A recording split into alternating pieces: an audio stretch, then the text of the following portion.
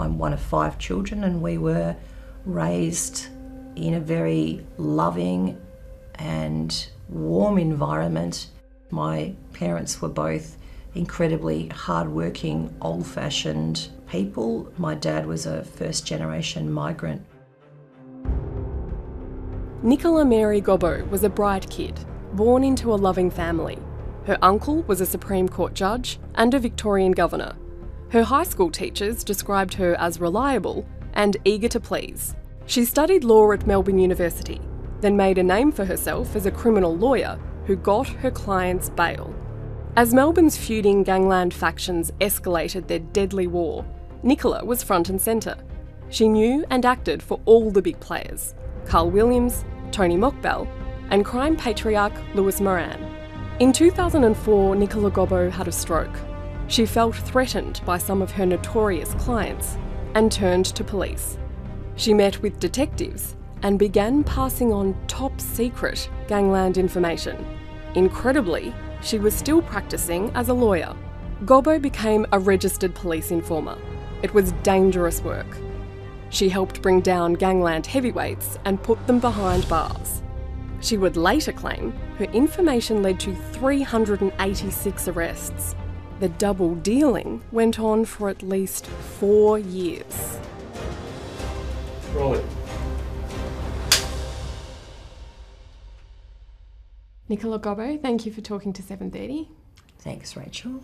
I've come a long way to ask you this, and everybody wants to know why. Why be an informer? Um, well, it's um, it's a it's a complicated story, um, but the easiest way for me to put it is that um, it began as an ethical and moral um, dilemma for me uh, knowing that people were going to be murdered. Um, that morphed into a dependence upon Victoria Police um, or a small number of Victorian police officers. They made it clear to me that if I didn't continue to assist them and to do what they asked, they would release my name and effectively feed me to the wolves. Are you in hiding? Yes. Yeah. Well, we, uh, as in myself and my two young children are presently stranded overseas. Um, it remains their belief that they were chased out of their home by police that are trying to take their mummy away. And that um, to any parent is beyond devastating. I find myself some days um, thinking this is just um, an unbelievable nightmare that there is no end to. You've been described as a liar, someone desperate to be needed, psychologically unhinged, a manipulator. Is any of that true? You know, I've been, I think I've been called everything under the sun, and I don't, um, my self worth and self belief has been destroyed over the last, particularly over the last 12 months. So, to a degree, it's kind of, I don't want to sound like I don't care because deep down I do, but it's like water off a duck's back. Um, psychologically unhinged. Simon Overland said you had a personality disorder. Yeah, well, Simon Overland should look at himself. Um, I, I mean, there's obviously a lot I would, I am keen to say about, for example, Simon Overland. Between 1998 to 2010, at least 27 criminals were gunned down in Melbourne outside their homes, in supermarket car parks, in front of their kids. Police were under enormous pressure. The infamous era was known as the Gangland War. Several families were fighting to control the lucrative drugs trade. Victoria Police used unprecedented resources to try to stop the so called underbelly murders. They squeezed anyone they could for information, including Nicola Gobbo police gave me the impression that they had an almost an unlimited budget, that there was nothing that they couldn't do. Did you sleep with any of your clients? No, I, this is again this is a topic that the Royal Commission haven't um, haven't covered um, in any way yet. And what about police officers? The Royal Commission has heard that you slept with four police officers. I don't know anyone else in Australia who has had their sex life or lack thereof um, splashed in the media as much as mine purportedly has. If you don't go into detail about it and you take it as a general proposition, then it doesn't sound great. Um, but when it's someone who has nothing to do with anything at the time, then what difference does it make? Did you do drugs with your clients? Never.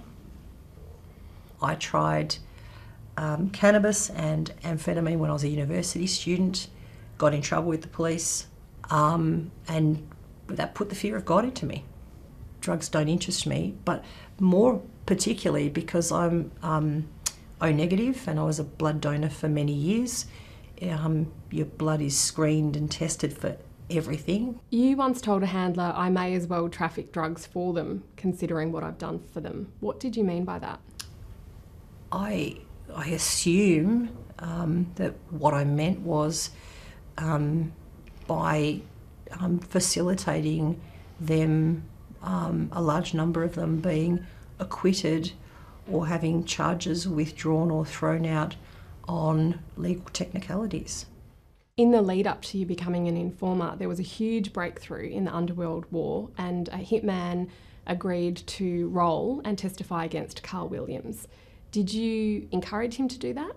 He expressed an intention to take a particular path, and I didn't talk him out of that. In order to um, to act in that particular client's best interests, it meant that I had to lie to other people, such as Carl, because they were actively seeking that I pervert the course of justice and break the law by misrepresenting that accused and by stitching him up in a way that if he ever decided to give evidence, that his evidence would be worthless. As it as it went on, um, there were people for whom I'd acted um, who decided that they were going to pursue the same course as that first individual. And um, if they sought to speak to me, then that made life even more complicated for me. You could have walked away, you could have become a prosecutor. Well, I couldn't have walked. I, I felt like I couldn't have couldn't walk away, um, not without consequences anyway. Um, and again, I'm not saying that's you know, in hindsight I should have, perhaps. What started as a simple request by police So we have, you know, about time off How many, how many weeks did I book the room for? turned into an avalanche of intel. Informers have what's known as police handlers to look after them and extract information. It wasn't unusual for Nicola Gobbo to call them upwards of 10 times a day. Did you start giving them information because you thought they had stuff on you? I genuinely don't believe that I had committed a crime um, or that I could be liable to be charged with any offence. But um, one of the pressures at that time, the gangland war period, was police executing search warrants on solicitors' offices checking money in trust accounts. So um, I made the assumption that, as, as a number of lawyers did, that our phones were being unlawfully monitored, and that, of course, pe- pe- things can be taken out of context. So I think the police, um, they certainly gave people such as myself the impression that they had um, that they had stuff that they would use. What started off as a um, a threat, which was um, people like you end up in one of two places, which is either prison or the gutter, dead with a bullet in you. Once it started, there was the threat of, well, you know, you've only got us to protect you, and if you don't do A, B, and C, then we're the only thing that stands between any criminal or alleged criminal finding out what you're doing. It's without saying, if we tell anybody, um, you'll be murdered. You've said you became an informer to stop murders, but the information extended to mobile numbers, car registrations, purchases at Bunnings for drug labs. How can you argue that that information directly saved lives? Well, I, I, um, it morphed from one thing into um, something completely different. Um, but, um, and the, the example you give about um, phone numbers, um, that was a police request. That was a specific request. Surely you would have to take some responsibility. There, there were times that they suggested you take a step back and you pushed forward. When a drug cook was arrested, you, you said, Who's next? That comment is taken totally out of context. Um, I think that was in the back of a police car after 36 hours of no sleep, having had my life threatened. I have read reports that you craved affection. Um, you wanted to be the best source that Victoria had ever had. I think um, I, I don't know. I mean, I look back. I think from what I've learned now, I think they probably groomed me from day one. Um, I mean, there's some suggestion that I was a registered informer in 1995 or 96. 95 and 99. Um, well, 1995, I don't know who I was informing on when I was cooking chips at the MCG um, and studying full time. So you're not aware that they registered you in 1995 and 1999? I learnt that from the media for the first time. Is that dangerous, registering an informer who doesn't even know they've been registered? Of course it is, but police do it all the time. I'm sure they're still doing it now. Do you believe in the concept of legal privilege? Yes, Rachel, I do. Then how could you betray your clients? Well, I think it's been grossly um, misreported and is perhaps misunderstood, but an analogy for you is if you came to me and you were charged with murder and you sought my advice in relation to um, how best to achieve the best outcome for yourself. And in the course of talking to me, you told me all about your mate uh, Bob, who had um, guns hidden in his house for an armed robbery that he was about to commit. Um, anything you tell me about your murder charge is subject to privilege, and the privilege is yours. But anything you tell me about Bob and his guns and his armed robbery is not privileged. It can't be. Most people would think that they would walk into a room and talk to you, and every conversation is privileged. That's not what the law is. Well, did you breach legal privilege in your informing? It was certainly a, an issue that came up from time to time with Victoria Police. There were, t- there were times that I'm sure they're on tape where I would be saying, no, I really shouldn't explain that, or I can't go there, um, or I can't get to that part. And they would circle back and come back to it and approach it in a different way. What about conflict of interest? How do you explain away representing people whose information helped get them arrested? What Victoria Police maintained with me was you don't be the judge of the veracity of something, the usefulness of it, or what we will do with it. And you don't filter things. You just tell us, um, tell us everything, and let us decide on what we do with anything that you say.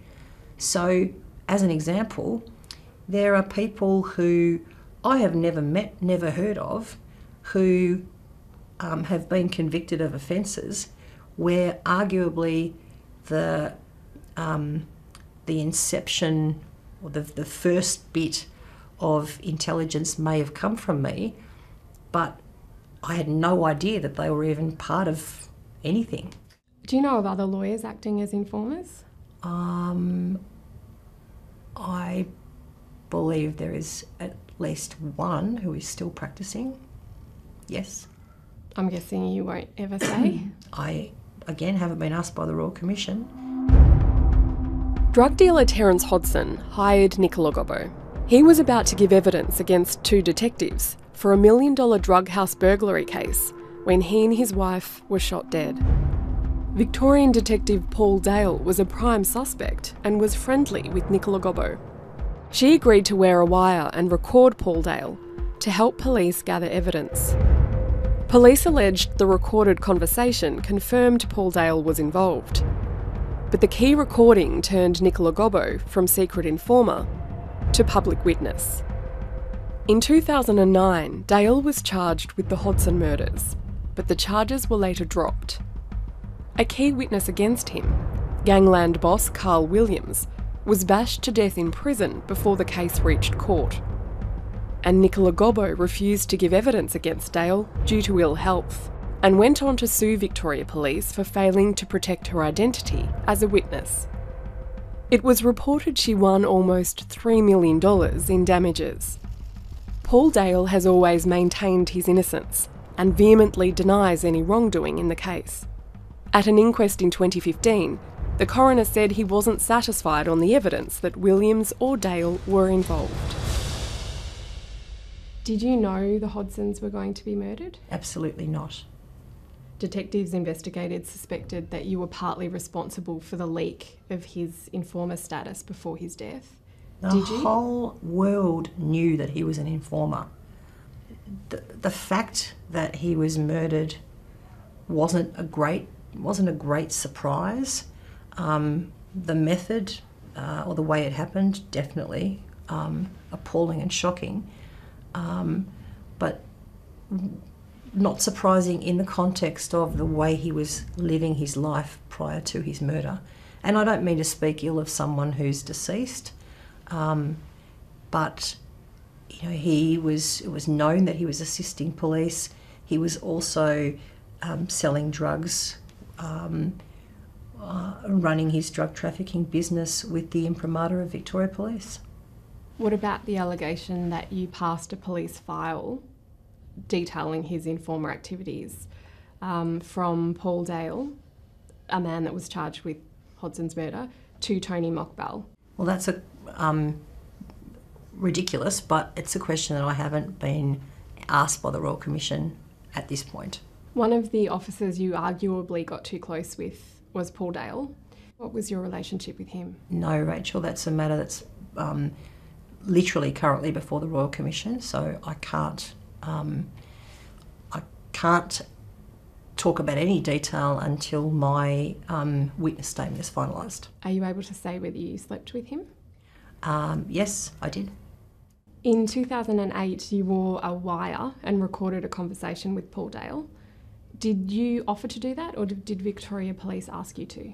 It's not as straightforward as that, Rachel.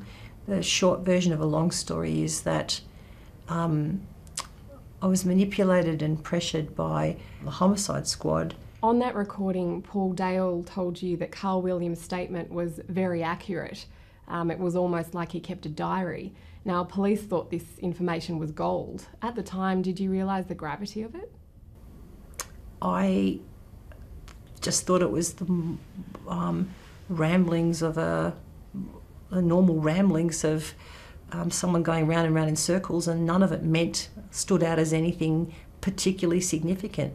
It was the police that went berserk about how incredible it was a couple of weeks later.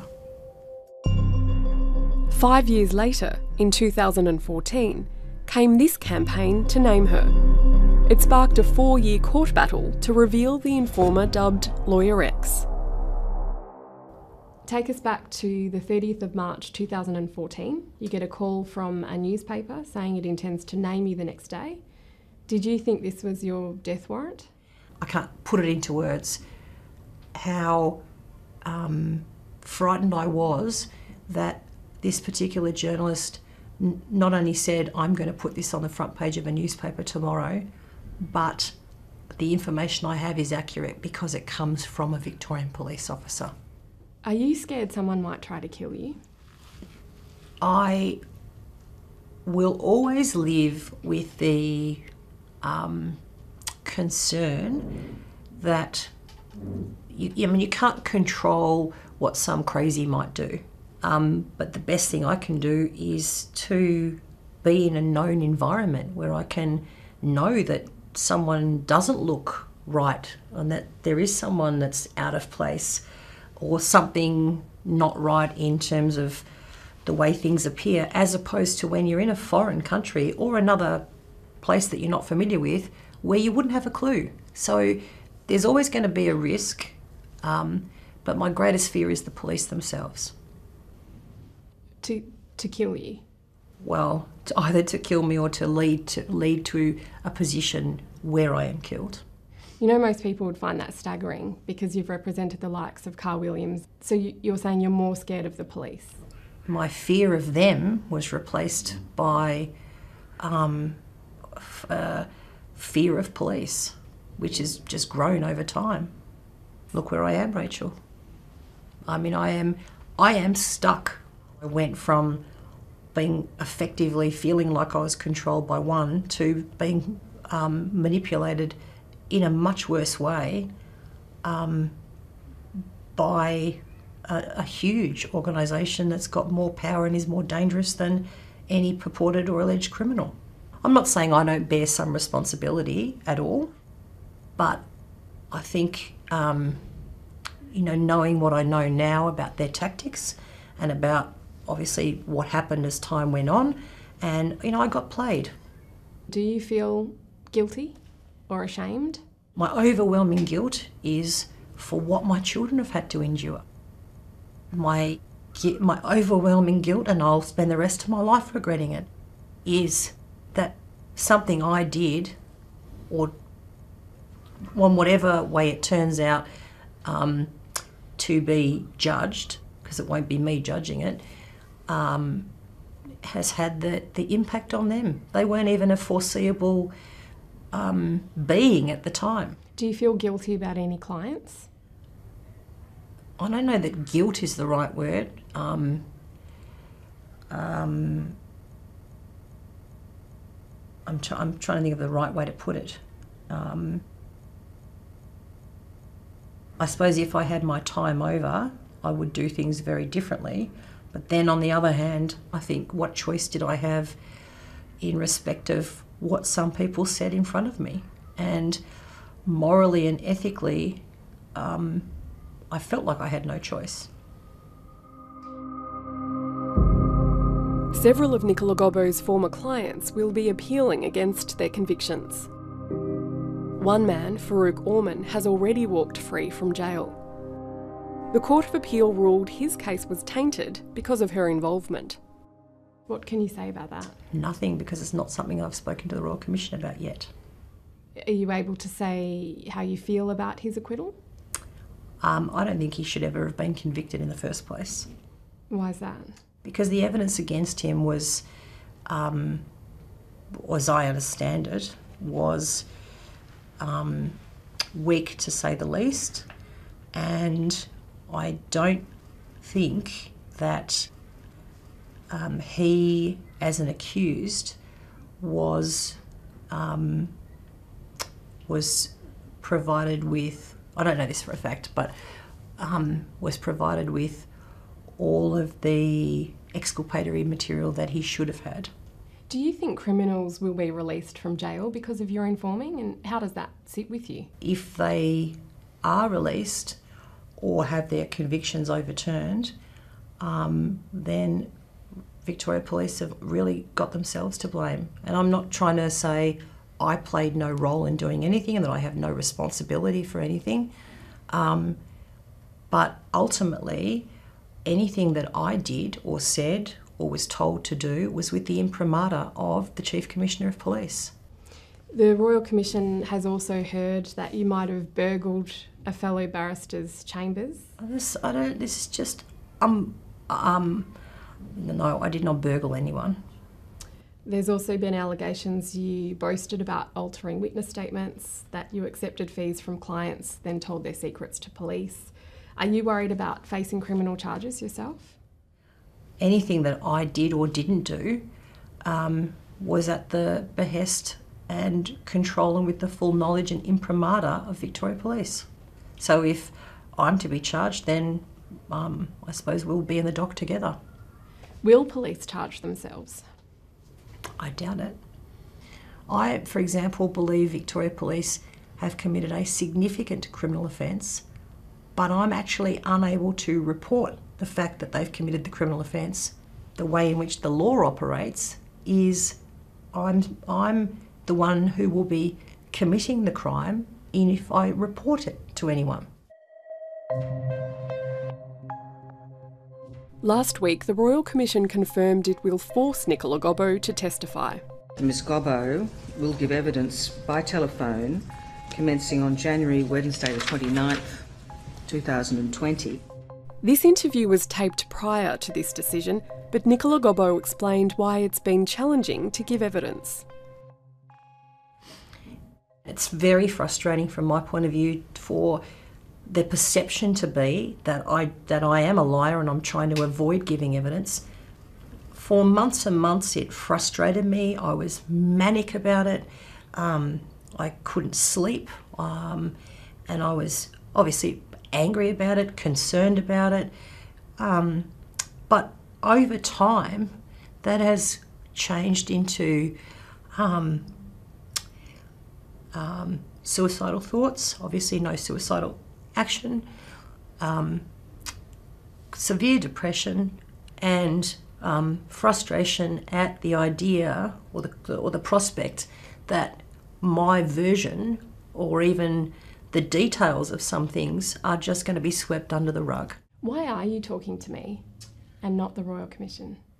Well, firstly, you came to me, um, and I might, for the record, indicate not where we're residing, but um, it, and you were able to understand that it was something that could only um, be done for a couple of hours in a very short period of time um, because of issues to do with my children. And there was um, someone who genuinely loves and cares about the children who was also prepared to travel to a foreign destination to care for those children while I could while I talk to you. How much of your time does the Royal Commission need? Um, well, firstly, Rachel, in order to produce a witness statement, um, I would conservatively guess that that would take me um, a thousand hours, and that I, I mean a thousand hours without being interrupted, being able to concentrate and not being in pain, um, and then um, an opportunity to review the what I understood some months ago to be thirty thousand pages of material. What kind of pain? It's um, pain? it is um, called neuralgia, but it's basically in in layman's terms, it's nerve pain. So it's constant acute pain in the um, f- facial muscles on both both sides of my face, 24 hours a day, seven days a week. And that's since your stroke. That's since July um, 2004. Right. Um, it feels like um, birth or labour pain for any woman who's watching. It's that exquisite um, pain that means you can't concentrate and you feel like ripping. I feel like ripping my face off. I have been told, um, as have my lawyers, that if I return to Australia, um, the police will arrange for DHHS to remove my children from me immediately. Why? Victoria Police maintain that the children are potentially at risk and that that potential risk is so great um, that nothing that I do uh, would, would ameliorate that risk sufficiently and that therefore it's in the best interests of the children to not be with their mother. We are effectively stateless. We have no rights because obviously we're foreigners and we can't obtain residency. Even if we wanted to, we can't. I have been snookered by Victoria Police, um, banished from Australia, the ultimate threat you can give to any parent, and the two most precious things um, in my world are my children, and you threaten to take them from me. Um, nothing much comes close to that. Isn't there a risk if Victoria Police is right, if someone tries to kill you, that your children might get caught in a crossfire? Um, I suppose there will always be a degree of risk, um, as there as there is for anyone driving a car. It's a question of um, how what steps you can take to minimise that risk. It's not the first time that they threatened me in relation to toeing the line and doing things their way, or they would take my children. Um, when my one of my children was um, five months old and I was pregnant with my second child. And it was on the basis of that um, I needed to enter the witness protection program immediately, or um, authorities would be involved in removing the child from my care. And before you go on, in case you do want to go on there, I, it's illegal for me to know whether you're in the witness protection program, and I won't be asking any questions if you are. So I just wanted to say that. Rachel, I um, have never been in the witness protection program, and I never will be. The very same organisation with the very same people who have put me in a position where I am um, alone, vulnerable, um, terribly lonely, um, and with the care of um, two dependent children, there is no way I would trust them. A lot of people will say, tough, you did this to yourself. It's not my place to try and convince people um, to form one view or another, but I think there wouldn't be anyone, if they're honest with themselves, that hasn't made a mistake in their lives or that hasn't done something um, and, and it had um, totally unexpected consequences. What do you want from Victoria Police now? Um, to be left alone. I mean, obviously, there'll be um, some significant civil proceedings on my behalf that are underway. Are you saying you're suing Victoria Police? Absolutely, yes. What's your biggest regret? Um,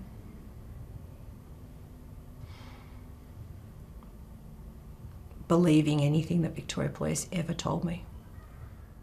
Nicola Gobbo, thank you for talking to 730. Thank you, Rachel, and I um, have much more to say.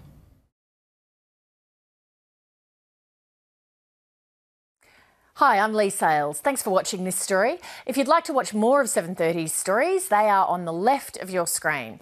And tap on the button below to subscribe and get the latest from ABC News.